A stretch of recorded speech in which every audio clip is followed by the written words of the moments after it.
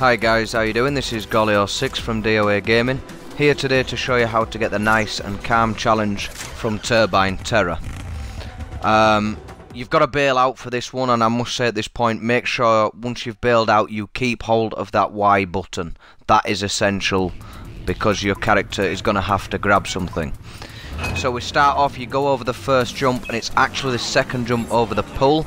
You bail out, keep hold of Y, as I said that's a must your driver will grab hold of the grabbing machine and when you get over the button just let go of Y and as you can see it will stop the turbines. I already have this accomplishment so it will pop up for you.